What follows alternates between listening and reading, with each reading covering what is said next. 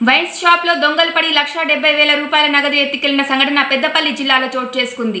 పెద్దపల్లి జిల్లా ఓదెల మండల కేంద్రంలోని మల్లికార్జున వైన్ షాప్లో అర్ధరాత్రి ఓ దొంగ వైన్ షాప్ వెనుక వైపున ఉన్న తలుపులు పగలగొట్టి వైన్ షాప్లోకి ప్రవేశించి కౌంటర్లో ఉన్న లక్షా డెబ్బై వేల నగదును దొంగిలించాడు.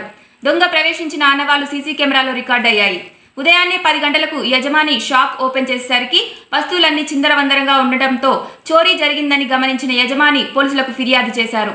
సంఘటనా స్థలాన్ని పెద్దపల్లి ఏసీపీ కృష్ణ పరిశీలించి త్వరలోని దొంగను పట్టుకుంటామని తెలిపారు. మాది ఓదల మల్లికార్జున వైన్స్. నేను ఒక పార్ట్నర్ను మేము కౌంటర్ మీద ఉండి రోజు పది గంటలకు తిరిగి బంద్ చేసుకొని క్లోజ్ చేసుకొని పది గంటలకు ఇంటికి రోజు వెళ్ళడం జరుగుతుంది. రోజు క్యాష్ రోజు ఇంటికి గుంచవేయడం జరిగింది. నిన్న నైట్ పది పది గంటల వరకు ఏదో ఒక ఫంక్షన్ ఉండడం వలన క్యాష్ పక్కకోలేక లేక క్యాష్ అందులో పెట్టడం జరిగింది. వెనుక నుండి గుర్తు తెలియని వ్యక్తి వచ్చి డోరు పగలగొట్టి వెనుక నుండి వచ్చి క్యాష్ ఎత్తుకపోవడం జరిగింది. ఆ, నైట్ సుమారు రాత్రి పన్నెండున్నర ఒకటి ఒకటి ఇంటి గంట వరకు జరిగినట్టుగా ఎస్ఐ గారికి కాంప్లైంట్ చేసినాం ఎస్ఐ గారు పరిశీలించి చూసిండ్రు.